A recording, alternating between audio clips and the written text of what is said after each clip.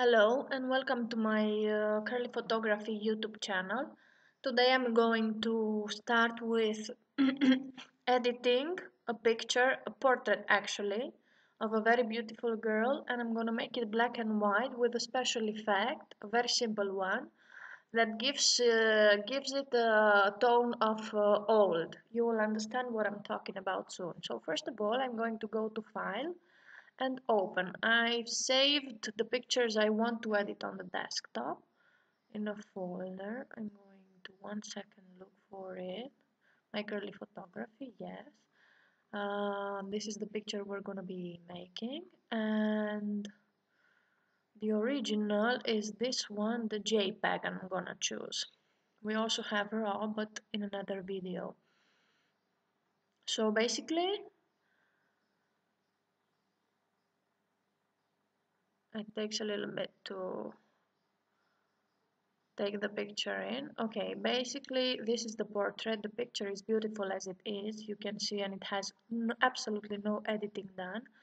I'm also a beginner photographer so you can understand the model did the work. It's Christina's um, work.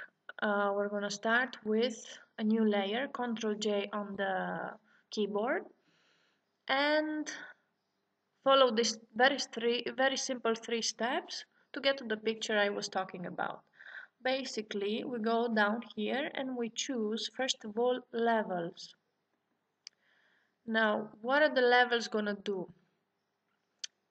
If by any chance you have in your picture areas with too big lights overexposed or too big dark areas so dark that you don't understand what's under you're gonna go here and fix with the middle arrow you're gonna play a little bit with it and fix the light. It's very easy to understand when you came to the point when you where you understand all the areas that were dark and it's as clear as they can be.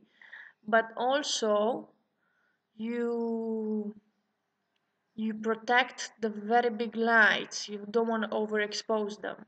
So so you get rid of the shadows with this simple uh, effect. Now we're gonna go to basically turn the picture into black and white gradient map. And we choose with a click here in the color we choose the black and white. Of course here with the two arrows in one and the other corner, you have the color stops. So as much as you want to take the picture to a more dramatic look in, in, uh, in black and white, but not only, you just take the arrow and you move it a little bit towards the middle. We speak about the black one now.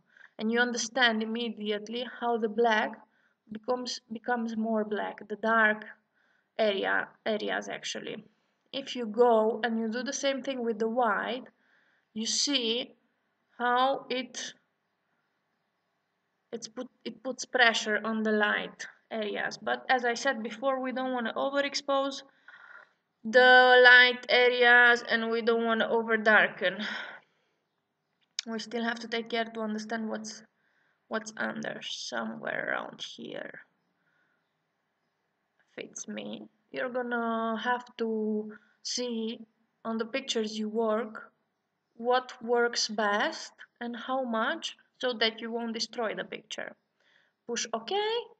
Now uh, we're gonna go to the final step like I said and we're gonna take this black and white picture to to a little bit uh, to, to an effect of the old periods old times um, we go to saturation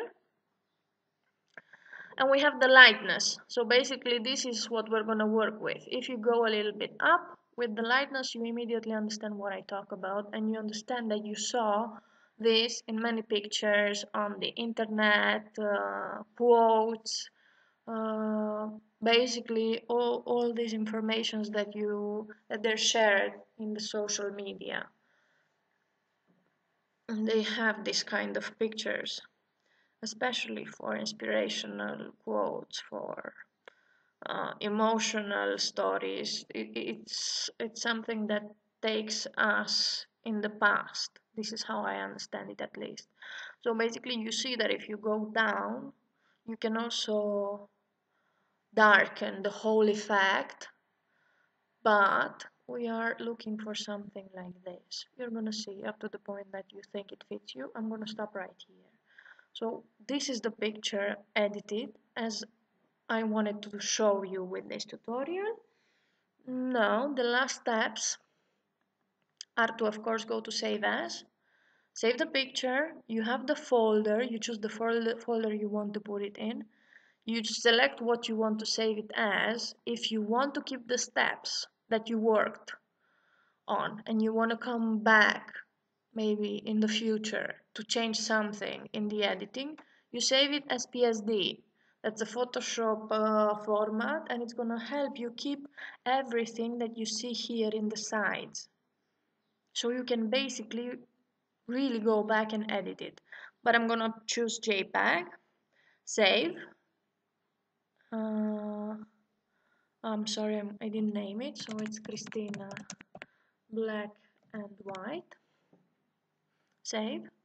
And now you're gonna do the last step. That means choosing what is the what is the dimension that you afford that you want that you're looking for. I advise to choose the bigger one the biggest one with the maximum quality this is 4.3 megabytes in my case just because you might make it smaller if you're gonna need it in the future but from small bigger very very complicated. So basically it comes to two 300 kilobytes. This is good. This I, is what I use for my website when I want to upload pictures. And you have the limit and you want to still keep the deepness that's the the pixels that's going to be another tutorial tutorial uh, that you're going to find with how you can resize the picture how much you need it for websites usually how much it's recommended. Anyway so I'm going to choose large file and okay. So basically the picture is saved. Thank you. I hope you enjoyed this and you found it interesting. And if it is like that I invite you to subscribe and to follow my videos and maybe suggest if there's anything else you would like to see and you didn't find in my list of, list of videos. Bye bye